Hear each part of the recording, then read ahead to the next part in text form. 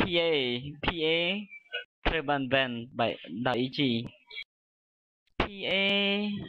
សម្រាប់ខ្ញុំហាក់ដូចជាប្រហែលជាល្អដែរពីព្រោះថាសម្រាប់អឺ Lord គាត់មាន AOE គាត់មានអ្នកចាប់ច្រើនអញ្ចឹងសម្រាប់នៅក្នុង Team Fight បើសិនជាមាន PA អាចធ្វើឲ្យពិបាកដល់អឺ EG ណាមួយណាម្យ៉ាងទៀត PA នេះទៀតសោតសម្រាប់អឺ critic នៅ last skill នៅ skill ចុងក្រោយរបស់ PA ហ្នឹងអាចកម្ចាត់ Mepo បានងាយដូច្នេះហើយបានជា EG អាចសម្រេចចិត្តក្នុងការ ban អឺ PA យ៉ាងណាក៏ដោយយើងឃើញ Lycan ក៏ត្រូវបាន ban ដោយ Lot ដែរហើយសម្រាប់ Lycan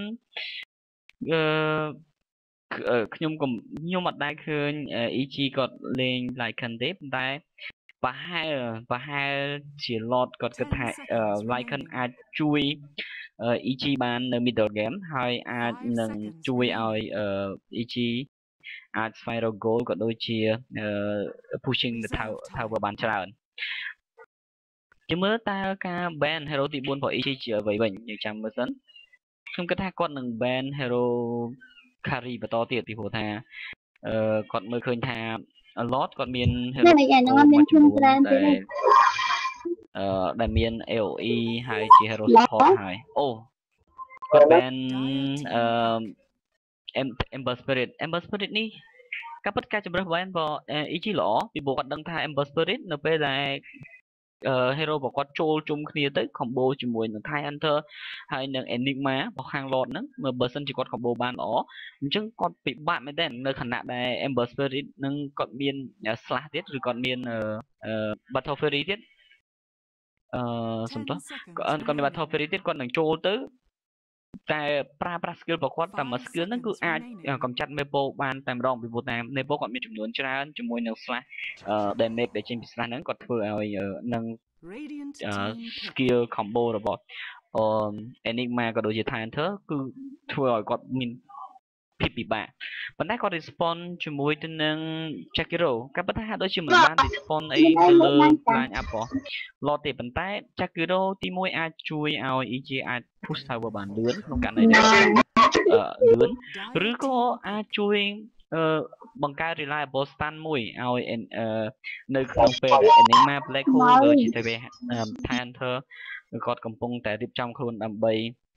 ប្រើប្រាស់ revive របស់គាត់ Invoker ត្រូវបាន pick ដោយ Lord Invoker សំខាន់ហើយខ្ញុំគិតថាបើសិនជាអ្នកដែលកាន់នៅ player ដែលកាន់នៅ Invoker នេះល្អទៀតទៀតសោតនោះ Invoker Enigma Thai Hunter ទាំងអស់នេះគឺសិតតែចូលរួមគ្នាដើម្បីទិសដៅ Mepo តែមួយតែម្ដង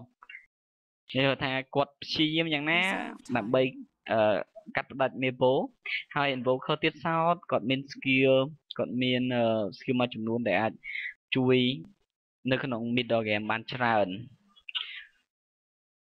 ខ្ញុំគិតថា game នេះសម្រាប់ Lord គាត់មាន advantage លើ AOE មូលហេតុអញ្ចឹងហើយបានជាគាត់ ban ទី1ដំបូងគេបំផុតនោះគឺ Rabbit អញ្ចឹងយើងឃើញថាបើសិនជាមាន Rabbit អឺបើសម្រាប់ PLE នេះបើសិនជាគាត់អត់បាន Rabbit ទេខ្ញុំជឿថា EG គាត់នឹង pick Rabbit ហើយ Rabbit ពីព្រោះ Rabbit គឺអ្នកដែលលេង Rabbit ហើយ flexible ទៀតនោះនឹងជួយឲ្យ team ខាង EG នឹងអាចត្រឡប់មកវិញបានអឺត្រឡប់ការ copy skill ពី Hunter Rabbit ក៏ដូចជា Enigma Black Hole នឹងបានលឿនហើយនឹងជួយ team ក្នុងការក្នុង team fight បានកាន់តែច្រើនពីព្រោះ Rapid ជាមួយនឹង Hero Disable Skill ដូចជា Thai Skill ដុំដុំដូចជា Thai Hunter Enigma Invoker នេះគឺសំខាន់មែនទែនអូយើងឃើញថា Rome ត្រូវបាន pick ខ្ញុំវាក៏ប៉ុន្តែវាហាក់ដូចជានេះទេខ្ញុំគិតថា EG គាត់ចង់ respond ជាមួយនឹង Thai Hunter ក៏ដូចជា Enigma ឬក៏ Invoker ទៀតសោតហ្នឹងជាមួយនឹង Dome Dome Doom Trigger ពីព្រោះជាមួយ Doom Trigger គាត់អាច Doom Hero ទាំង3ហ្នឹងមួយណាក៏បានដែរហើយជាពិសេសនោះប្រហែលជាគាត់នឹងគាត់នឹង Doom Enigma ក៏អញ្ចឹងទៅគាត់ដើម្បីកំចាត់ចោលទាំងហើយណា Black Hole មួយឬក៏ Enigma ឬក៏ Invoker គាត់ respond ជាមួយ Terrorblade ខាង Lord Terrorblade សំខាន់មែនតើហើយល្អមែនតើសម្រាប់អឺ hero ដែលអាច farm បានជាពិសេសបន្ទាប់ពីបន្ទាប់ពី middle game បើសិនជាបន្ទាប់ពី middle game ហើយ Terrorblade គាត់អាច farm បាន មាននោះគឺគាត់នឹងជួយ team fight បានលឿនហើយជាពិសេសគាត់នឹងអាចទប់នឹងអាច push tower នៅ late game បានល្អមែនទែនខ្ញុំចាំថាអឺដូចជាដដែលដែរតែខ្ញុំឃើញមានតែអឺតែអ្វីដែលខ្ញុំចាំគឺឃើញមានតែ internal envy ដែលមកពី team Cloud9 អឺសម្រាប់ខ្ញុំគាត់គិតជាគាត់ជា hero ឬក៏គាត់ជា player ដែលអស្ចារ្យមួយដែលលេង Terrorblade ហើយគាត់អាច game គាត់អាចព្យាយាមប្រើ Terrorblade ឲ្យមាន effective ច្រើនមែនតើ ឥឡូវយើងមើលឃើញថាខាង EG គាត់ ban Skyred អឺកន្លែងនេះអឺហើយសម្រាប់ the lot វិញគាត់ ban Medusa អញ្ចឹងជាច្រើនរត់ទៅគឺឃើញថា lot គាត់ ban 3 carry គឺ Medusa អឺ Skyrap Medusa Lycan ហើយនឹង EG អឺហើយនឹង Morphling អញ្ចឹងយើងមើលតើ EG គាត់នឹងសម្រេចចិត្តយក hero ណាមួយដើម្បី carry នៅមាន hero មួយចំនួនដែលខ្ញុំគិតថាអាច carry បាននៅពេលដែលគាត់ fluff farm ទៅប្រហែលជា AM ក៏ possible ដែរឬក៏ AM អាចអាចអាចមានតួនាទីមួយសំខាន់ទីនេះខណៈដែលខាង lot នោះពុំមាន reliable stun ណាមួយជា stun individual ទេគាត់មានតែ AoE stun អញ្ចឹង Hunter គាត់ចង់ចាប់គាត់ធ្វើប្រើ Pravake ឬក៏ Enigma ដើម្បីចាប់អ្នកដែលរត់បានអញ្ចឹងគឺគាត់ប្រើ Black Hole ហើយខណៈដែល Invoker និង Terrorblade នោះពុំមានអីចាប់ទេ អញ្ចឹងបើសិនជា AM plus farm នោះអូ Sven អូខ្ញុំចាំបានថា Sven នេះគឺជា game មួយអឺដែល EG ធ្វើបានយ៉ាងល្អមែនទែននៅពេលដែលគាត់ប៉ះជាមួយនឹង team អឺ Nora នៅក្នុង Revenge match របស់គាត់ពេលនោះគឺថាកាលពេលនោះគឺ Nora គាត់បានអឺ push អឺ EG ដល់ទៅ limit ទៅហើយមានន័យថាដល់ទៅ base ទៅហើយប៉ុន្តែជាមួយនឹង team fight មួយដែល Sven គាត់អាច stand បាន3ខណៈដែលអឺពេលនោះគឺការ stand របស់គាត់នោះគឺល្អមែនទែនពេលគាត់ stand បាន3គាត់ចូលទៅវាយទៅគឺធ្វើឲ្យគាត់នឹងបាន ultra kill រហូតដល់គាត់អាចចេញអសូក្រាភ្លាមភ្លាមខណៈនោះតែធ្វើឲ្យ game change មែនទែនហ្មងគឺ EG អាចត្រឡប់មករក game វិញដោយយកជ័យជំនះបាន អញ្ចឹងសម្រាប់ reliable stand ពី Sven ក៏ដូចជា ultimate របស់ Sven នេះគឺធ្វើឲ្យបើសិនជាគាត់មាន grand Q ទៀតជាមួយនឹងការ update ថ្មីរបស់ WoW គឺឃើញថាជាមួយនឹង Aghanim Scatter skill របស់គាត់នឹងត្រូវបូក strength ទៅឲ្យគ្នាគាត់បានច្រើនជាងមុនហើយអញ្ចឹងច្រើនអញ្ចឹងគាត់អាចនឹងវាយក៏ដូចជា push បានល្អជាពិសេសនោះជាមួយទៅនឹង skill របស់ Mepo 10 seconds remaining 5 seconds remaining. Dire team pick. តែបងឃើញលោត AOE ទាំង4ទៅហើយយើងងើកឡើងតែ Terrible នេះបើលោតនេះអឺ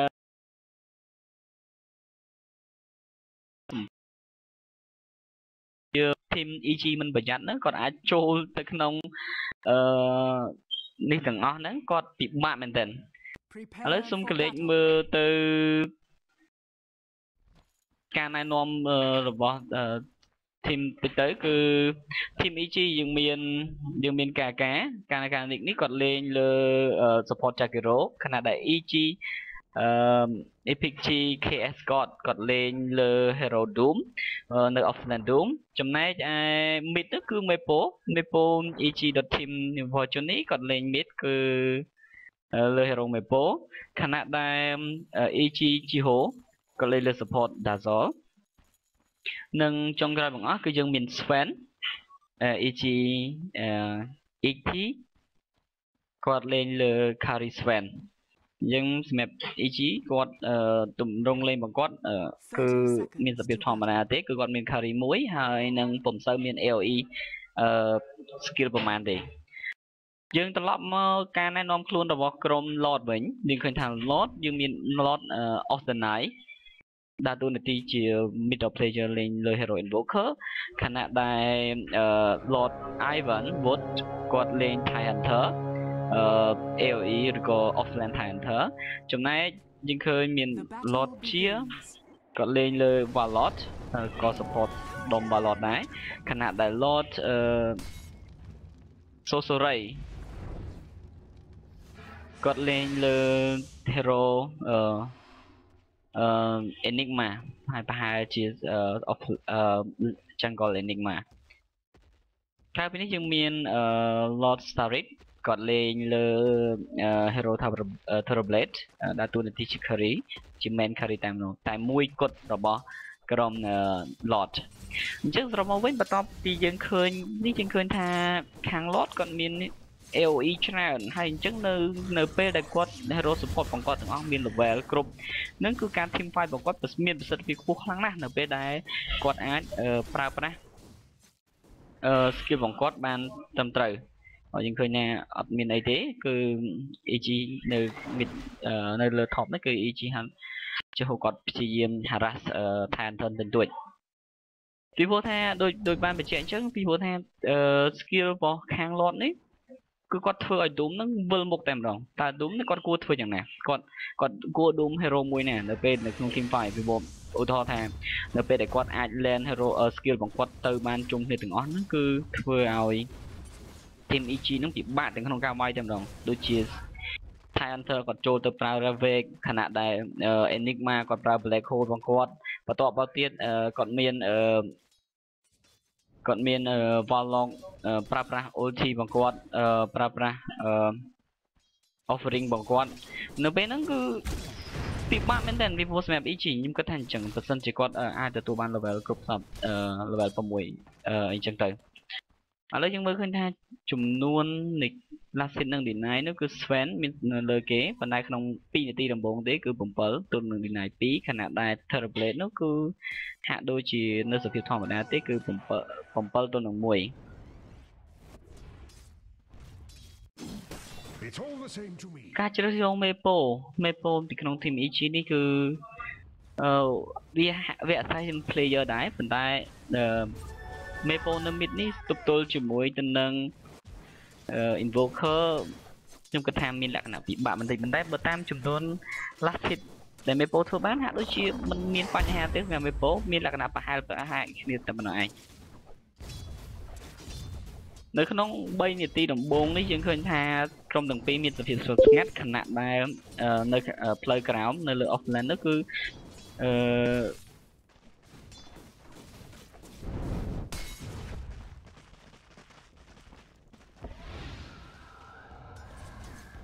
ខណៈដែលនៅនៅ offline នោះគឺយើងឃើញថា Doom អឺយើងឃើញថា Doom គាត់អាច roll level បានច្រើនដែលពុំមានការ harass ច្រើនពី team Lord ទេអញ្ចឹងសម្រាប់មើលទៅវាហាក់ដូចជាមាន advantage អូយើងមើល Enigma គាត់ព្យាយាមមកប្រើប្រាស់ stun របស់គាត់ដើម្បី kill Doom អីអាចទៅស្លាប់ទេហាក់ដូចជាអត់អីទេសម្រាប់ Doom គឺគាត់អាចគេចផុត ហើយយើងមើលទៅអឺ epic កាកាអឺត្រូវបានហារ៉ាស់បន្តិចបន្តួចពី team lord អឺ Valot ចឹងណាក៏ដោយយើងមើលឃើញថា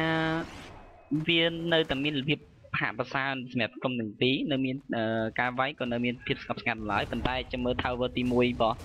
team AG មើលជាមួយនឹងចំនួននេះគឺថាគាត់នឹងអាចធ្វើឲ្យ Tower ទី1នឹងអឺ ប៉ែព្រួខ្លាំងប៉ះពាល់ខ្លាំងខណៈដែលអឺខាង team law គាត់មាន hero ដែលអាច push tower បានច្រើនដូចជា enigma ក៏ដូចជា skill ទី2ផងអឺ terrorblade ដូច្នោះដែរ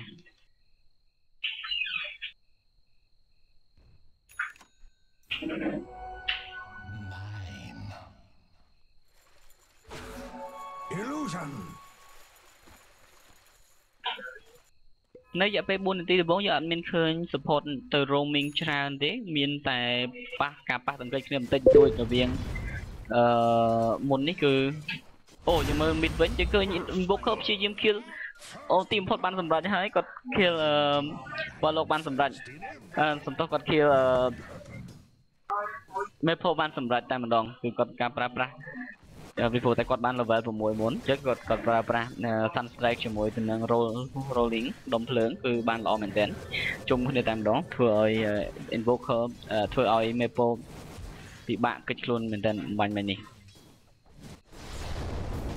ហើយយើងមើលបាត់ធំវិញ first blood ត្រូវបាន kill ហើយត្រូវបានឲ្យទៅខំ team lot មើលទៅវាហាក់ដូចជា event track បន្តិចសម្រាប់ bit ប៉ុន្តែទោះយ៉ាងណាក៏ដោយសម្រាប់ maple គឺថា level របស់ maple ហើយនិង level របស់ invoker ពុំមានអី ខុសគ្នាខ្លាំងទេហើយបើតែនេះអឺធ្វើបើតែអឺ invoker គាត់ទទួលបាន first blood មែនពីព្រោះថា Maple ជា hero មួយដែលអាចអឺ roll level បានលឿនពីព្រោះគាត់បែងចែកខ្លួនរបស់គាត់ទៅតាមតំបន់មួយមួយហើយគាត់អាច roll level និង farm នៅក្នុងព្រៃបាន ឥឡូវវិញយើងឃើញថាសម្រាប់ team slot នេះគឺអឺសម្រាប់ team EG នេះគឺគាត់មាន advantage មួយទៀតគឺគាត់អាចប្រើប្រាស់ jungle គាត់បានល្អមែនតើគាត់អាចឲ្យជួយ hero support របស់គាត់ជួយក្នុងការអឺអូគ្រីបដូចគឺយើងឃើញថា Epic G Jiho ហ្នឹងគាត់បានកំពុងតែធ្វើហ្នឹងគឺល្អមែនទែនការហ្នឹងគឺនឹងអាច ជួយឲ្យ Radiant's middle tower is under នឹងអាច attack. ជួយឲ្យ map អឺ Maple Plus Farm បានហើយយើងមើលខាងក្រោម tower ខាងក្រោមទៅសឹងតែដាច់ទៅហើយសឹងតែអឺរងអឺការដួលរលំទៅហើយពីព្រោះតែការ push របស់ Turtle Blade ក៏ដូចជាពីខាងអូតែគាត់អាច deny បានទេគាត់កំពុងតែព្យាយាម deny tower ហ្នឹងហើយតែគាត់អឺប្រហែលជានឹង deny បាន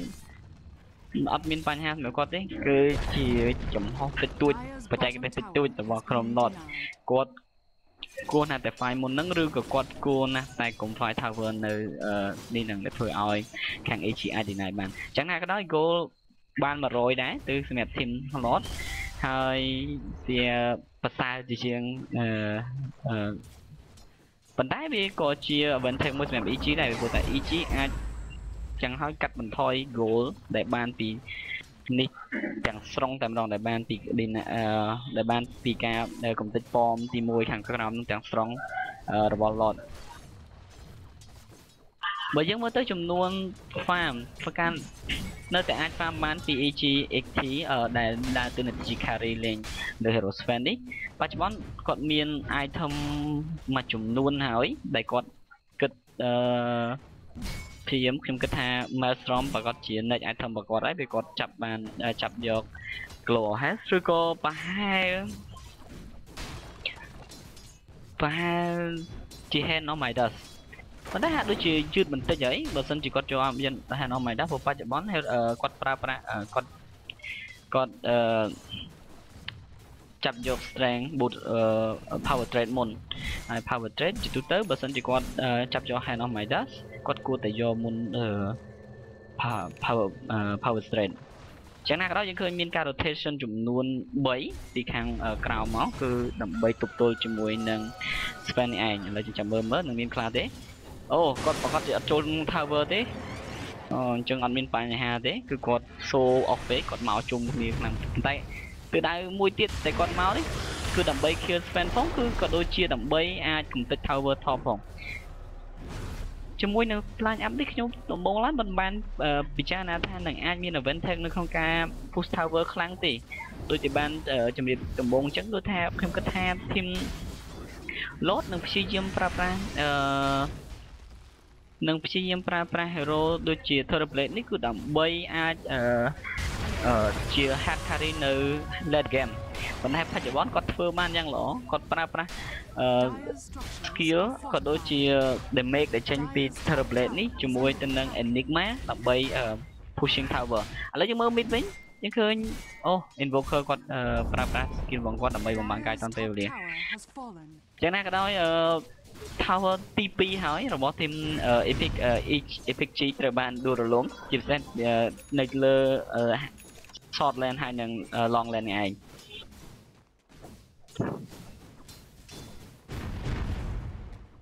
បើយើងមើលទៅបច្ចុប្បន្នយើងឃើញថា team ខាង Lord កំពុងតែមានប្រៀបលើ Tower ជាងខណៈដែលសម្រាប់អឺ Goal Advantage វិញយើងឃើញ Goal Advantage ទៅ Lord មានចំនួនអឺជាង1000នៅនាទីទី9នេះខណៈដែល Experience បានទៅខាង EG មានប្រហែលជាជាង1000ដែរអញ្ចឹង កលេចមួយចំនួនហើយនឹងការ push របស់ Lord យើងឃើញថាយើងយើងអាច estimate ថា Lord មាន advantage ច្រើនជាងមានប្រយោជន៍ច្រើនជាងមាន benefit ច្រើនជាងប៉ុន្តែទោះអឺតែទោះយ៉ាងណាក៏ដោយយើងឃើញថាអឺ experience ត្រូវបានទៅខាង EG ហើយចំណែកអ្នកដែលនាំមុខនៅក្នុងការ farm នោះគឺមាន Maple ក៏មានការនាំមុខខ្លាំងដែរ ពីព្រោះតែគាត់មានប្រសិទ្ធភាពក្នុងការ farm ព្រៃដូចជាការមុនបានបង្ហាញអញ្ចឹងគឺខាងអឺ EG Votion support របស់គាត់ហ្នឹងអឺគាត់បានព្យាយាមអឺ ជួយអស់ grip នៅក្នុងព្រៃនឹងឲ្យគាត់ហើយបន្ទាប់មានឃើញការ farm bot តែមានប្រសិទ្ធភាពខ្លាំងដែលធ្វើឲ្យខាង EG នឹងមានលទ្ធភាពអឺក្នុងអាក្នុងការលេងនៅ late game បើសិនជាខាង lot ពុំទាន់មានអឺនេះទេឥឡូវយើងមើល tower មួយទៀតបានដួលរលំហើយគឺ tower កដាលយើងយើងឃើញថាពិបាកមែនទែនសម្រាប់ EG ក្នុងការទប់ទល់ជាមួយនឹង tower ទាំងអស់នេះក្នុងខណៈដែល Ravers ក៏បានអាប់ឡើងដែរនៅ level 7ហើយ Enigma អឺ អត់ទាន់មាន black hole ទេអញ្ចឹងជានៅមិនទាន់ជាបញ្ហាខ្លាំងមែនទែនទេពុំមានខ្លះទេសម្រាប់ game នេះវាយើងឃើញថាបន្តពី first blood ទៅអ្វីគ្រប់យ៉ាងនឹងមានសភាពស្ងត់ស្ងាត់នៅឡើយអឺហាក់មានសភាពស្ងត់ស្ងាត់នៅឡើយប៉ុន្តែយើងឃើញថា EG គាត់ព្យាយាមអូគាត់ចូលទៅក្នុងហើយ អូ Ravik Ravik បានទៅអឺ Panther ទីបំផុតទៅគាត់បាន kill Dazor ប៉ុន្តែ Dazor អូល្អមែនទែនសម្រាប់មេពោតែគាត់អាចចិត្តនេះបានទេអូគាត់បោះសំណាញ់ចំនេះហើយចំ Panther ហើយ Panther ពិតជាមិនរួចទេទីបំផុតទៅគឺ2អឺអឺល្អមែនទែនសម្រាប់ Invoker គាត់អាចអឺ Dyer's middle បង្កើតតាន់ពេលវេលាអូ chẳng hỏi ណាស់ប៊ីតែមែនតើ តែបើគិតមើលទៅយើងឃើញថាអឺហ្គេមនេះគឺ3ទល់អឺចំនួន kill គឺផ្លាស់ប្ដូរគ្នា3ទល់នឹង2ខណៈដែលសម្រាប់ Lord ហាក់ដូចជាមានបច្ចេកកំហុសបច្ចេកទេសតិចតួចដោយសារតែគាត់អត់បានដើរជុំគ្នាហើយគាត់ព្យាយាមគាត់អត់ទាន់បានដឹងពីការតកងតើមេប៉ូនៅទីតា Sven នៅទីណាតែគាត់ព្យាយាមចូលវាយទៅគាត់ប្រើប្រាស់ skill ទៅលើតែ support អឺ Dazol ហើយនឹងអឺ អឺ Chakaro ដែលធ្វើឲ្យ Mepo គាត់មានឱកាសហក់ចូលមកបានចូលមកជ្រើបន្ទាប់មកគាត់បានប្រើប្រាស់ skill របស់គាត់ហើយក៏កំចាត់ hero ទី1នោះគឺ Terrorblade ដែលធ្វើឲ្យ Terrorblade ពុំមានឱកាសក្នុងការតដៃតទៅសោះហើយខណៈដែល Sven ទៀតសោតបច្ចុប្បន្នគាត់ដូចបានបញ្ជាក់អញ្ចឹង Hand of Midas គាត់កាត់បានបានហើយអឺសម្រាប់ខ្ញុំមុននេះគឺខ្ញុំបានបញ្ជាក់ថា let ប៉ុន្តែអូទីបំផុតទៅ Mepo គាត់បាន kill អឺគាត់ជាមួយសហការជាមួយ Dazol គាត់បាន kill អឺ Valot នៅផ្លូវទឹកខាងក្រោមទៀតអញ្ចឹងគឺជា advantage មួយទៀតសម្រាប់ team អឺ EG អូចាំមើលមេប៉ូគាត់ឃើញហើយគាត់ឃើញថាដៅ target របស់គាត់ហើយគាត់ដោយសារជាមួយនឹង invisible rune ខ្ញុំគិតថាខាង lot ក៏គាត់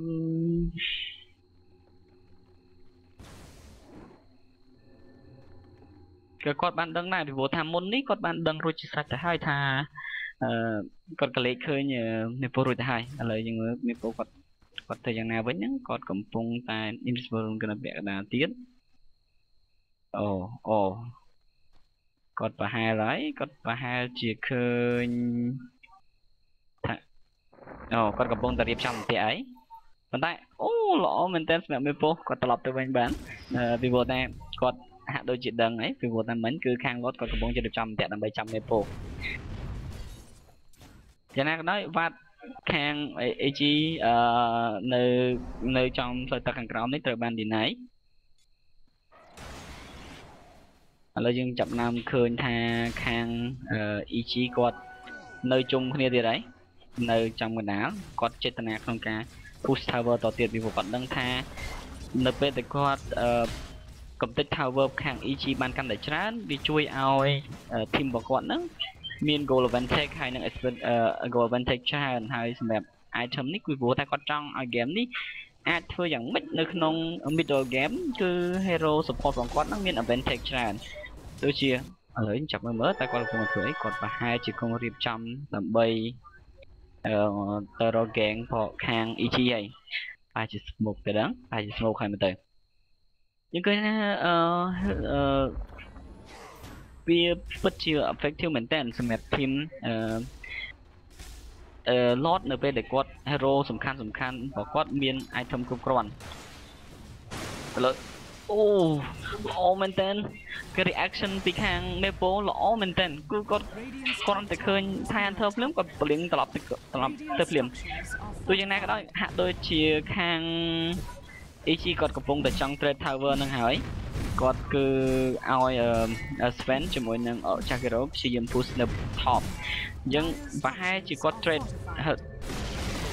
ទី2ជាមួយនឹងទី1ហើយ tower has fallen. Dyer's Radiant's middle tower has fallen. ខ្ញុំគិតថាអឺបច្ចុប្បន្នហាក់ដូចជាមិនមានបញ្ហាអីទេធ្វើបិទតែយើងឃើញថាអ្នកដែល farm ច្រើនអ្នកដែលមាន advantage អឺក្នុងការ farm បានអឺមានច្រើនជាងគេនោះគឺមេប៉ូដែលគាត់មានដល់95អឺ59ហើយគណៈដែលអឺ Radiant's bottom tower is អឺ under Sven attack. មានចិត្តអឺ90 crypt ដែរអញ្ចឹងមើលទៅគាត់មាន advantage លើចំនួនការ farm របស់គាត់ប៉ុន្តែទោះយ៉ាងណាក៏ដោយយើងឃើញថាអឺ goal ចាប់ផ្ដើមត្រឡប់ Radiant's bottom tower has fallen.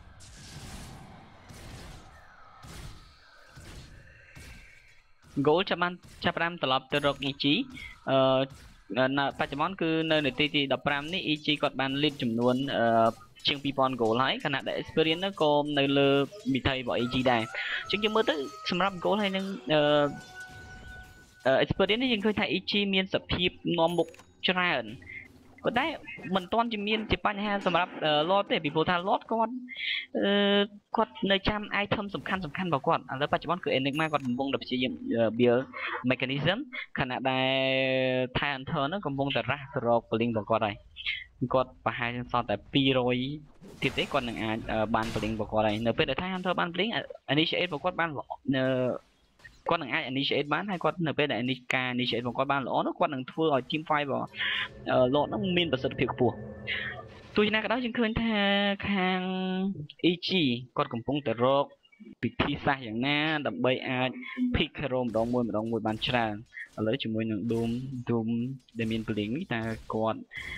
អឺមាន advantage យ៉ាងណាអញ្ចឹងបច្ចុប្បន្ន អូយើងឃើញថាអូ Doom ត្រូវបានប្រើទៅលើអឺ Terrorblade ហើយ Terrorblade អូខណៈដែល Overing ថាល្អមែនទែនដូច combo ដូចខ្ញុំបានបញ្ជាក់អញ្ចឹងគឺថា combo របស់អឺ Terrorblade អឺសំទោស combo របស់ Enigma Black Hole ក៏ដូចជាអឺ offering របស់ Valot និង Ravek នេះគឺជួយឲ្យ team fight របស់មានប្រសិទ្ធភាពយ៉ាងណា Invoker ត្រូវបានចាប់ជាប់ហើយ គឺទីបំផុតទៅគឺពីអឺ team fight ពីរផ្សេងគ្នាដែលនាំឲ្យ EG loss ពីរសំខាន់គឺ Maple ជាមួយទៅនឹង Doom ហើយនឹង Invoker ត្រូវបាន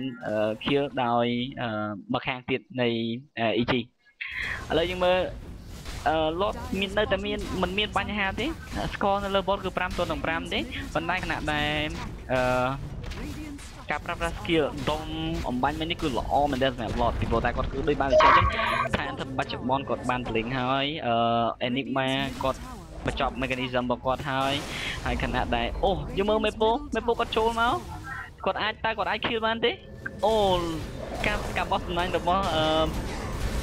នេះល្អមែនតើការបោះ doom ឥឡូវអូទីបំផុតតែគាត់អាច kill អឺអឺ ឋានឋានធើបាន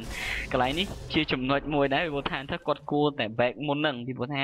ថើវើគាត់បានដួលរលំទៅហើយនេះជាជំហរបច្ចេកបច្ចេកទេសមួយដែរពីព្រោះឋានធើកាលណាគាត់ត្រូវបានខៀនអញ្ចឹងតែយ៉ាងតែទោះយ៉ាងណាក៏ដោយហាក់ដូចជាមិនមានបញ្ហាទេសម្រាប់ lot ពីព្រោះទៅ lot ថែ intern នេះទៀតសោតគាត់បាននេះទៅហើយគាត់បានអឺ blink រួចទៅហើយថ្ងៃយើងមើលទៅថា គាត់កំពុងតែធ្វើអីទៀតយើងឃើញថាអឺ hero ខាង lot គាត់កំពុងតែព្យាយាមអឺ farm យក item សំខាន់សំខាន់ដូចជាឥឡូវ Terrorblade គាត់ក៏បាន pick អឺ Roshan has fallen Tram to đấy. death. Dire's top tower អឺវាហាក់ដូចជាមានផលវិបាកបន្តិចព្រោះបច្ចុប្បន្ន Roshan ត្រូវបាន kill ដោយខាង EG ហើយអញ្ចឹងសម្រាប់ Lord ត្រូវតែប្រុងប្រយ័ត្នឲ្យមែនទែនត្រូវតែព្យាយាមធ្វើម៉េចប្រើប្រាស់ skill របស់ខ្លួនឯងឲ្យបានចំ target ល្អហើយអូល្អមែនទែន Invoker គាត់ប្រើប្រាស់អឺ skill របស់គាត់ is under ចំ attack. តែម្ដងគឺប្រើប្រាស់អឺវាយតែមួយដៃទៀតទៅលើអឺ Sven ល្អមែនទែនល្អមែនទែននៃការលេងរបស់ Invoker ហើយនេះគឺ Is under ល្អមែន attack. ទែនគឺសឹងតែមិនចង់ទេនេះប៉ះយ៉ាងណាក៏ដោយដូចបានបញ្ជាក់អញ្ចឹងមេពូគាត់កំពុងតែមាន item ហើយគាត់កំពុងតែធ្វើដំណើរទៅរកអាកណាំ scatter វាសឹងអឺនៅខ្វះតែប្រហែលជា200ទៀតទេ200 gold ទៀតទេហើយកណាដែលឥឡូវបច្ចុប្បន្ន Sven មាន item អឺមកល្មមដែលអាចខ្ញុំគិតថាគាត់អាច fight បានហើយ item បន្តរបស់គាត់ប្រហែលជា 2KB យ៉ាងណាក៏ដោយយើងឃើញថា team lot ធ្វើបិទតែគាត់មានអឺ skill advantage លើ AOE advantage នឹងមែនអឺគាត់ថាប្រយោជន៍ពី skill ដុំនឹងមែនប៉ុន្តែគាត់ ពិតជាពិបាកក្នុងការវាយពីព្រោះណា EG គាត់ពិតជាមិនឈរស្រួលស្រួលឲ្យខាងអឺ lot អឺបលីងឬចូលមកចាប់ឲ្យគាត់ជុំគ្នានោះទេ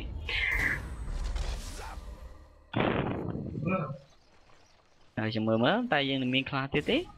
ឃើញឃើញណាទៅហើយជួបហើយអូការប្រើប្រាស់ Ravik ល្អមែនទែនដូចបានបញ្ជាក់អញ្ចឹង Ravik ជាមួយនេះប៉ុន្តែអាចដូចជាអត់ទាន់មានបញ្ហាទេពីព្រោះតែអូទីបំផុតទៅការប្រើប្រាស់ skill របស់ EG ល្អជាងពីព្រោះតែពេលដែលគាត់ប្រើ Ravik នេះគឺមេពោអត់នៅក្នុងនោះទេធ្វើឲ្យធ្វើឲ្យមេពោមានឱកាសក្នុងការប្រើប្រាស់ skill របស់គាត់ផ្លាស់ចូលមកហើយកម្ចាត់ invoker បានហើយយើងមើលទៅអឺ team fight មួយនេះគឺជា team fight ដែលមាន advantage ច្រើនទៅលើទៅទៅខាង EG វិញពីព្រោះថាខាង EG នេះគាត់បាន គឺជាកំហុសឆ្គងមួយនៃការ land អឺ Ravik ហ្នឹងពីព្រោះថាគាត់គួរតែរងចាំ Mepo ហើយដូចគ្នាដែរ Mepo គាត់ក៏គាត់ក៏កំពុងតែរងចាំថែ enter ហ្នឹងឲ្យប្រើប្រាស់ Ravik របស់គាត់ដែរសរុបសេចក្តីទៅម្ដងទីម្ដងទីវាកាន់តែពិបាកសម្រាប់ lot ក្នុងការអឺអឺក្នុងការ delay game នេះឲ្យយូរជាងនឹងទៀតណាពីព្រោះថាកាន់តែកាន់តែ delay កាន់តែមានគ្រោះថ្នាក់សម្រាប់ lot ពីព្រោះថា hero សំខាន់សំខាន់ អូដល់គេមើលហើយដាក់ជាប់ប៉ុន្តែអឺចាក់ការ៉ូបគាត់ពិតជាមិនអាចធ្វើអីបានទេតែម្នាក់ឯងអញ្ចឹងឥឡូវជាងមើលអូមីប៉ូវិថាស៊ូនគាត់ត្រឡប់មកហើយគាត់ធ្វើអីគាត់បោះសម្ដាញ់ខុសមួយអូគាត់តម្លាក់ខុសប៉ុន្តែចាំមើលមើលអូ invoker ធ្វើនៅក្នុង play hole អូយ៉ាងណាគាត់តម្លាក់ land play hole ល្អមែនទែនតែ enter អត់មាន survey ទេប៉ុន្តែទីបំផុតទៅគាត់អាច នេះបានអត់មានអ្នកណាវាយ invoke អូនេះគឺជាកំហុសមួយខ្ញុំគិតថាមេពោពិបាកមែនទែនអូប៉ុន្តែយ៉ាងហោចណាស់គាត់អាច kill invoker បានវិញឥឡូវ Ravik អត់មែនទេ Dyer's bottom tower ល្អ is មែន under តើនេះ attack. Pixie អឺ Fortune ដោយសារគាត់មាន AG ស្ងគាត់គាត់ធានមែនតើគាត់ធានចូលទៅក្នុងបាយឥឡូវជាមួយ Blink របស់គាត់ គ្មានសល់ទេគ្មាននៅទេអឺអឺ Terrorblade Tower is under attack. ពិបាកទៅពិបាកទៅហើយសម្រាប់ Lot Are fortified. ខ្ញុំគិតអឺពីព្រោះថាឥឡូវមេពោគឺគាត់អឺបាន Acronym Scatter ហើយខណៈដែល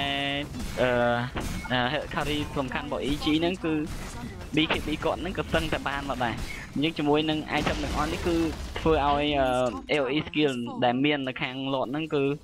រត់តែពិបាកជាងមុនទៅទៀត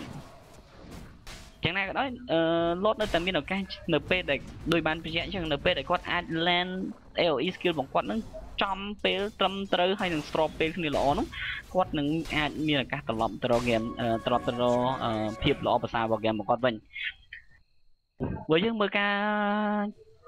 មើល goal ហាមើល goal grab នោះយើងឃើញថាមានលក្ខណៈប្រហាក់ខ្នាយគ្នារវាង goal នោះសំដៅគឺ goal នោះគឺ EG គាត់នាំមុខចំនួនជាង6000 goal ខណៈដែល experience ហ្នឹងគឺ EG គាត់នាំមុខដល់ទៅជាង10000 experience នៅក្នុងត្រឹមតែទី20នាទីទី24នេះទេអញ្ចឹងកន្លែងនេះជាកន្លែងមួយដែលគ្រោះថ្នាក់មែនទែនសម្រាប់ lot ប៉ុន្តែយ៉ាងណាក៏ដោយដូចបញ្ជាក់អញ្ចឹង lot ត្រូវតែរក្សាទីតាំងរបស់ខ្លួនចូល ត្រូវតែព្យាយាមធ្វើយ៉ាងណាដើម្បីអាចបង្កើតឲ្យមាន team fight មួយដែលខ្លួនអាចជាអ្នកគ្រប់គ្រង team fight នោះដោយប្រើប្រាស់ skill AOE របស់ខ្លួនចំទិសដៅតែម្ដងចំគោលដៅចំ target ហើយជាពិសេសនោះគឺបើសិនជាគាត់អាចចាប់ហ្នឹងគាត់ប្រហែលជាទិសដៅរបស់គាត់គឺចាប់មេពោមុនពីព្រោះថាមេពោគាត់គាត់ skill របស់គាត់ហ្នឹងគឺធ្វើឲ្យមានអឺ Dyer's make top clang med den. tower is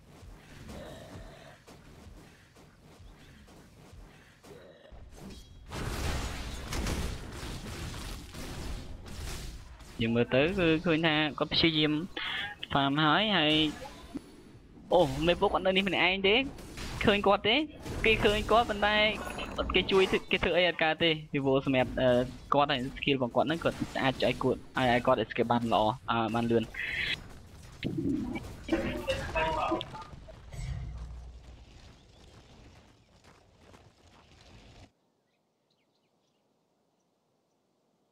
invoker item ដំបូងរបស់គាត់គឺ Arcanum Arcanum Scepter Arcanum Scepter គឺអូគាត់ព្យាយាមអឺជាមួយទៅនឹងអឺ Val of Discord នេះគឺធ្វើឲ្យ skill របស់គាត់នឹងមានប្រសិទ្ធភាពជាពិសេសតទៅនឹង magical damage អញ្ចឹងគឺដៅរបស់គាត់ធ្វើយ៉ាងណាអឺវិធីសាស្ត្ររបស់ខាង Lord គឺធ្វើយ៉ាងណាបង្កើត physical damage ឲ្យធំ ពីព្រោះតែគាត់ដឹងថាជាមួយនឹង physical damage ដ៏ច្រើនដែលគាត់ពួកគាត់មានជាមួយនឹង AOE ដ៏ច្រើនដែលពួកគាត់មាននេះគាត់នឹងអាចអឺកំចាត់ចោលដូចជាអឺ Mepo ឬក៏ Hero Support ផ្សេងទៀតហើយគាត់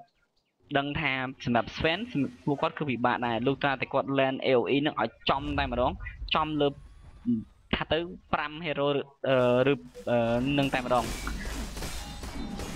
អូយើងមើលនៅកណ្ដាលយើងមើលតើអអត់ទេកន្លែងនេះគឺជាចំណុចមួយដែលដែលខាងអឺ Lord គាត់ដឹងខ្លួនឯងដែរពីព្រោះថាខាងអឺ Enigma នេះក៏អត់តន់បាន blink ទេអញ្ចឹងនៅពេលដែលគាត់អត់មាន blink ហ្នឹង initiate ពី Enigma ទៅពិបាក អញ្ចឹងគាត់ត្រូវការ initiate តែមួយគត់ពីខាង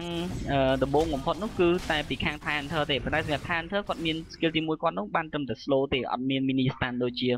Enigma ទេអញ្ចឹងបើសិនជា Enigma គាត់ initiate គាត់អាចចូលទៅពាក់លីមុនគាត់អាចចូលទៅប្រាប់ណា skill ទី1របស់គាត់បង្បែបបង្កើត mini stun ទៅបន្ទាប់ពីបន្ទាប់ពីបង្កើត mini stand ហើយគាត់អាចអឺគាត់អាចឲ្យអឺ team fight មានប្រសិទ្ធភាពច្រើនជាងមុនឥឡូវជាងមើលអឺទាំងអស់បច្ចុប្បន្ន hero ដែលមានលើ screen ហ្នឹងគឺ9ហើយពីព្រោះថា5គឺបានមកពី Maple ហើយខណៈដែល9ទៀតគឺជា hero teammate របស់គាត់អញ្ចឹងមើលទៅ EG មាន advantage ច្រើនកន្លែងនេះតែចាំមើលតើយ៉ាងម៉េចវិញពីព្រោះ item សំខាន់សំខាន់គាត់បានអស់ហើយដូចជាអូអាកណ្ដាប់ scepter បានហើយអូយ៉ាងមើលល្អមែនទែន តែយ៉ាងគាត់អូធ្វើឲ្យអត់មាន black hole មួយតែយ៉ាងហោចនេះគាត់បានព្យាយាមប្រើប្រាស់ skill របស់គាត់អូល្អមែនទែនគាត់អឺផានធ្វើមុននឹងគាត់ស្លាប់គាត់អាចដោះដូរជាមួយទៅនឹង Maple ដែរគាត់បានប្រើប្រាស់អឺដើម្បីកម្ចាត់មេពូចឹងហើយណាអឺ get team fight មុននេះគឺមាន advantage ខ្លាំងមែនទែនទៅលើ EG ពីព្រោះតែគាត់អាច kill 4ហើយគាត់បោះបង់3ចោលខណៈដែលអឺ តួឯកដែលដើរតួជា carry សំខាន់ EG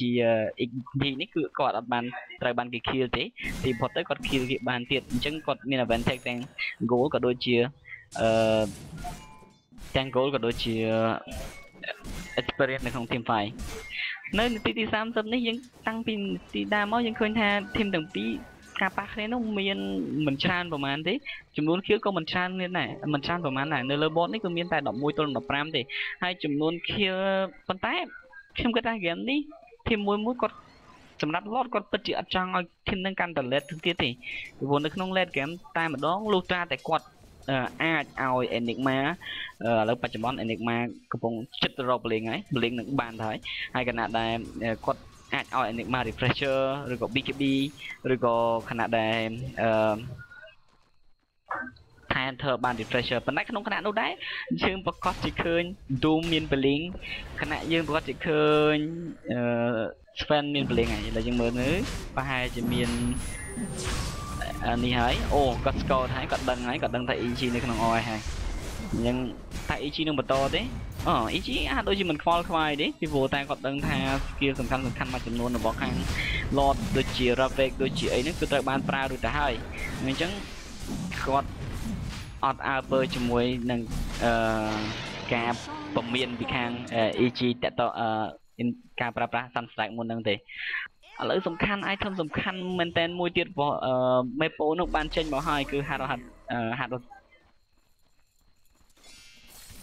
គឺ Hard Address ចូលកន្លែងនេះគឺសំខាន់មែនតើសម្រាប់អឺគឺសំខាន់មែនតើសម្រាប់ EG ខណៈដែលពិបាកមែនតើជាស្ថានភាពមួយពិបាកថ្មីសម្រាប់ Lord យល់ថាតើ Lord ត្រូវដោះស្រាយយ៉ាងណាត្រូវធ្វើយ៉ាងម៉េចត្រូវប្រើប្រាស់ ulti របស់គាត់ឲ្យចំទិសដៅយ៉ាងម៉េចតើគាត់ត្រូវដូរ target តើអ្នកណាគេមុនតែគាត់ត្រូវសម្លាប់អ្នកណាគេមុនគាត់ត្រូវប្រើស្រប skill ទាំងអស់លើ Maple ឬ គាត់ត្រូវប្រើទាំងអស់លើ Sven ពីព្រោះថាបើគាត់ចាប់ Maple គាត់ចាប់ Maple បាន Sven នៅតែមានលទ្ធភាពក្នុងការវាយហើយខណៈដែល support របស់គាត់ដូចជាអឺដូចជា Jakiro ឬក៏ដូចជា Dazzle នេះគឺជួយឲ្យ carry ខាង EG ហ្នឹងមានប្រសិទ្ធភាពកាន់តែខ្លាំងហើយបច្ចុប្បន្នយើងឃើញថា Aegis ក៏នៅលើ Mepo ដែរអញ្ចឹង Epo Mepo គាត់មានទីផុតទៅបច្ចុប្បន្នយើងអាចនិយាយថា Mepo ហ្នឹងគាត់មានចំនួន10នាក់ឯណោះ គ្រាន់តែ Mepo មាន10នាក់មានន័យថាសរុបទាំងអស់ EG បើសិនជា team fight ក្រោយគាត់បីគាត់មាន advantage លើចំនួនគ្នាតែម្ដងគឺគាត់មានគ្នាដល់ទៅ14នាក់នៅក្នុង team តែគាត់តែមួយពីព្រោះថា Mepo គាត់មានអឺ5ពីរដងគាត់មាន10ហើយហើយខណៈគ្នា teammate របស់គាត់មាន4នាក់ទៀតយើងសរុបទាំងអស់គាត់មាន14នាក់អញ្ចឹងសម្រាប់ lot គឺពិបាកកន្លែងនេះ លើកលែងតែគាត់ប្រើប្រាស់ skill របស់គាត់ហ្នឹងកុំចំពេលវេលាអឺចំពេលវេលាគ្នាល្អហើយអាចឲ្យមេប៉ូហ្នឹងគាត់ដួលរលំទៅភ្លាមៗតែម្ដងឬក៏ទាំង5អឺ team fight ទាំងខាង EG ហ្នឹងចំពេលអឺអាចសម្រាប់អឺខាង EG ហ្នឹង5តែម្ដងឥឡូវយើងមើលឥឡូវមើលទៅ EG គាត់ព្យាយាម smoke ហើយគាត់ឃើញហើយពីព្រោះថានៅខាងក្រោមហ្នឹងគាត់មានវ៉ាត់ដែរ អូគាត់ចាប់បាននេះហើយគ្មានមិនសល់ទេសម្រាប់អឺ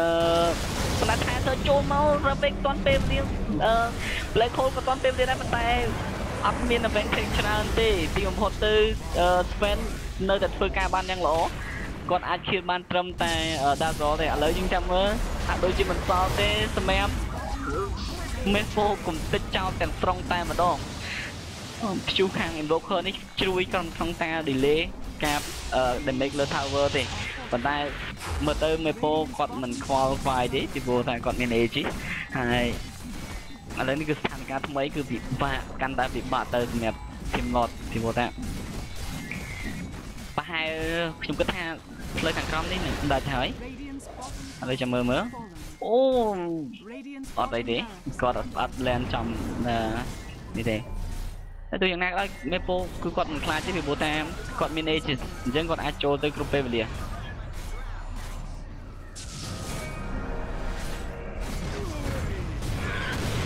អឺគាត់ព្យាយាមទៅពីព្រោះថាគាត់ដឹងថាខាងលត់គឺអត់មានអត់មាន hero AoE ទៀតទេ Black Hole ក៏ត្រូវបានប្រើ Thai Hunter ក៏ត្រូវបានប្រើប្រាស់អូ Invoker ល្អមែនទែនក៏បានប្រើប្រាស់ជួសវងគាត់ចំពេលវេលាប៉ុន្តែតើអាចជួយសង្គ្រោះគាត់បានទេ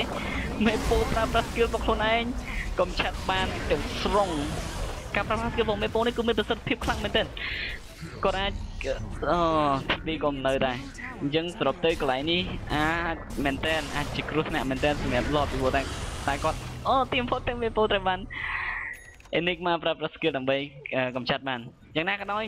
យើងធ្វើឃើញថាចំនួន kill នៅលើ bot គឺ13ទៅ21នេះការពិតចំនួន kill នេះ ពិតជាមិនទៅសំខាន់ប្រហែលទេពីព្រោះថា EG គាត់បាននាំមុខខ្លាំងមែនតើអឺផ្លូវខាងក្រៅមួយត្រូវបានដាច់ហើយ hero សំខាន់របស់គាត់ដូចជា Mepo អឺ Sven នេះគឺមាន item របស់គាត់នោះគឺសឹងតែពេញប្រឡោះទៅហើយ Sven Asokra នេះគឺជួយឲ្យ Mepo នោះមានប្រសិទ្ធភាពក្នុងការបាយកាន់តែខ្លាំងខណៈដែល Mepo Hard Address ហើយ មិនមែនមែនតើទេណាគឺស្កាត់ឲ្យស្កាត់ទីស្កាត់នេះគាត់កំពុងតែទៅរកហ្នឹងឬក៏ side device គេប៉ុន្តែទីនេះគាត់អត់មានផលវិបាកអីសម្រាប់ side device គេចាប់ hero ណាមួយទេប៉ុន្តែអាចជា item ទាំងអស់ដែរដែលមេពូននឹងត្រូវ build បន្តទៀតយ៉ាងណាក៏ដោយយើងឃើញថា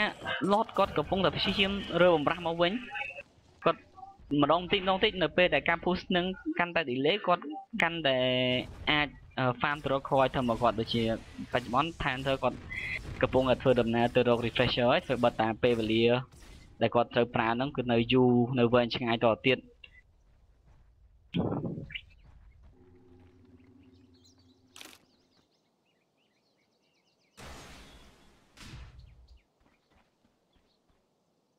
ល្អដែរសម្រាប់ team EG ព្រោះថាការការប្រើប្រាស់វ៉ាតរបស់គាត់ដើម្បីគ្រប់គ្រង map ហ្នឹងជាពិសេសក្នុង map របស់គាត់ហ្នឹងក៏អត់ទាន់មានច្រើនទេប៉ុន្តែមាននៅក្នុង baseball គ្នាគាត់អញ្ចឹងមាននៅក្នុង baseball បាក់គូបដិបៈរបស់គាត់កន្លែងការប្រើប្រាស់វ៉ាតនេះអាចឲ្យគាត់ដឹងពីស្ថានភាពអ្នកនៅ defense នៅក្នុងហ្នឹងក៏ដូចជាស្ថានភាពដែលក្រុមរបស់គាត់អាច smoke ឬក៏អីអាចដើម្បីព្យាយាម counter counter situation ហ្នឹងឲ្យប្រសើរសម្រាប់គាត់ ឥឡូវយើងមើល invoker គាត់ហាក់ដូចជាគៀង item ហើយបន្ទាប់ពីបាន Aghanim scatter និងនិង Metal Hammer នេះមួយទៅពីព្រោះអឺបច្ចុប្បន្នខ្ញុំគិតថាគាត់កំពុងទៅទៅរកអឺ BKB Invoke ក៏កំពុងទៅរក BKB ដូចគ្នាដែរហើយចាំមើលគាត់នេះទេមានឧទាហរណ៍នឹងមានខ្លះទៀតទេព្រោះយើងមើលឃើញថា Sven គាត់កំពុងតែ follow អឺ អឺ Mepo ហើយហើយអូល្អមែនតើគឺក្រោះតែមួយ skill របស់អឺនេះអឺរបស់ Mepo ហើយនឹងមួយស្តាន់ពីខាងនេះនឹងអូ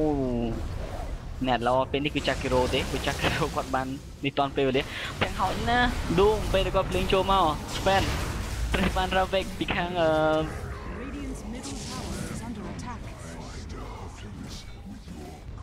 ពីខាងថៃអន្តរតែយ៉ាងណាក៏ដោយយើងឃើញថាអឺពិតជាអត់មានឧបសគ្គសម្រាប់ EG ទេនៅពេលនេះព្រោះតែ EG អឺគាត់អឺអាចសម្លាប់បានគាត់អាចរង skill បានឥឡូវគាត់ចាប់ផ្ដើមកំទេច tower top អឺអស់នេះហើយគាត់តាមតាមអឺយក mid របស់អឺខាង lord ហើយអញ្ចឹងកន្លែងនេះអូមេពោគាត់ធ្វើគេគាត់ព្យាព្យាយាម kill turboulated អូគាត់ ធ្វើអត់បានទេប៉ុន្តែជាយ៉ាងណាក៏ដោយវាហាក់ដូចជារុញ lord ឲ្យនៅម្ខាងនៃ Under attack. តែវាអញ្ចឹងពីព្រោះថាពេលនេះគឺ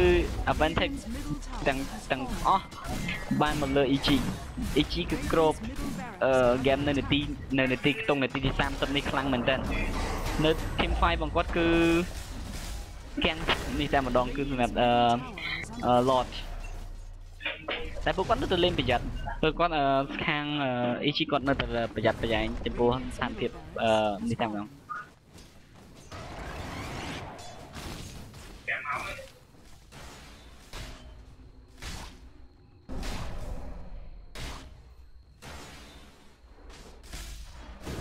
អូយមើលគាត់ឃើញគាត់ឃើញមួយជនហ្នឹងប្លែកខូលប្រើតែម្ដងគឺដើម្បីអឺនេះតែ អូទីមកយ៉ាងហោចណាស់គឺ Black Hole នេះគឺ Black Hole ដែលអឺមានប្រយោជន៍មួយមែនទែនពីព្រោះតែគាត់អាចសម្រាប់អឺអឺ Maple បានបើថាទោះយ៉ាងណាក៏ដោយដល់សម្រាប់ EG ហាក់ដូចជាអត់មានបញ្ហាអីទេពីព្រោះថាគាត់នៅមាន advantage ច្រើនទាំងចំនួន kill នៅលើ board ទាំង experience ក៏ដូច Maple ទៀតសោតនេះគាត់អឺគាត់មានទាំង buyback ទៀតប៉ុន្តែអឺ ក្រុមរបស់គាត់ហ្នឹងគឺបានកម្ចាត់ពីរផ្លូវទៅហើយគាត់បានកំទេចពីរផ្លូវរបស់ lot ហើយអញ្ចឹងគាត់មិនចាំបាច់ buyback ទេពីព្រោះថាខាង lot ហ្នឹងក៏គាត់អត់តន់អឺបាន push អីដែរតែទោះយ៉ាងណាក៏ដោយ lot ត្រូវតែរកវិធីសាស្ត្រដោយបានបញ្ជាក់ម្ដងហើយម្ដងទៀតថាគាត់ទៅរកវិធីសាស្ត្រយ៉ាងណាដើម្បីឲ្យការប្រើប្រាស់ AOE skill របស់គាត់នេះចំពេលវេលាហើយអាចកម្ចាត់បាន hero 3ឬ4ក្នុងពេលតែមួយនៅពេលនោះគាត់នឹងអាចមានប្រសិទ្ធភាពក្នុងការវាយត្រឡប់ទៅរកអឺ ស្ថានភាពដែលគាត់ចង់បានវិញព្រោះបច្ចុប្បន្នយើងឃើញថា Turtle Blade គាត់អឺមាន item មួយចំនួនហើយប៉ុន្តែ item ទាំងអស់នេះខ្ញុំគិតថាគាត់ពុំអាចអឺទៀតស្ទង់អឺពុំអាចវាយអឺជាមួយនឹងអឺ Maple ក៏ដូចជា Sven បានងាយស្រួលទេចំពោះអឺ stand ដុំរបស់ Sven ក៏ដូចជាការប្រើប្រាស់ skill របស់ Maple នេះគឺឈឺខ្លាំងណាស់ឥឡូវយើងមើលគាត់ឃើញហើយគាត់ឃើញអឺ Jakiro ចាក់ចាប់គាត់ចាប់កា Jakiro បានទេខ្ញុំគិតថាអូ Sven គាត់ចូលមក stand គាត់បើក BKB ប៉ុន្តែ traffic មិនចំពេលវេលាទេពីព្រោះថា Sven បានបានប្រើ BKB ហើយអញ្ចឹងគឺ Sven ក៏ប្រើប្រាស់ skill របស់គាត់ការអត់អូនេះគឺមានប្រសិទ្ធភាពគួរពីព្រោះតែ Invoker គាត់បាន kill Sven ចឹងប៉ុន្តែមិនសល់ទេសម្រាប់ Invoker បច្ចុប្បន្នគាត់ជាប់ Doom ហើយគាត់អឺគឺត្រូវបាន kill ដោយ Doom Doom Refresher គាត់ ព្យាយាមត្រឡប់ទៅមុខទៀតខ្ញុំគិតថាគាត់ land គាត់គាត់ land វាបានអូគឺ Dyer's top ជាប់ tower ហើយ is under attack. ក៏ទៀមផុតទៅហាត់ល្អមែនទែនសម្រាប់អឺ Doom កន្លែងនេះគឺគាត់មែនគាត់សន់ពេលវេលា Invoker buyback មិនបានជួយអ្វីច្រើនទេខ្ញុំសឹកអឺខ្ញុំគិតថា Is under attack. ជាគ្រោះថ្នាក់វិញនៃ Invoker ចាប់តែម្ដងហ្គេមនេះនឹង Dyer's top tower អឺពុំមានអីថ្មីទេសម្រាប់ Lord ពីព្រោះកន្លែងនេះគឺជាខ្ញុំគិតថាជា last fight ជាងក្រោយខ្ញុំពិតដូចបានបញ្ជាក់អញ្ចឹង GG បានអឺហៅដោយ Team Lord អញ្ចឹងអឺ congratulations congratulation ក៏ដូចជាសូមអរសាទរចំពោះ Team EG គាត់នៅតែបន្តពាក្យថា undefeatable មានន័យថាគាត់នៅតែលេងបានល្អហើយ Lord ទៀតសោតសម្រាប់ team នេះ Lord ក៏លេងបានល្អដែរគាត់ព្យាយាមអស់ពីចិត្តតែម្ដងហើយព្យាយាមទប់ដល់នាទីនេះឯងសូមអរគុណសូមជម្រាបលាបាយបាយ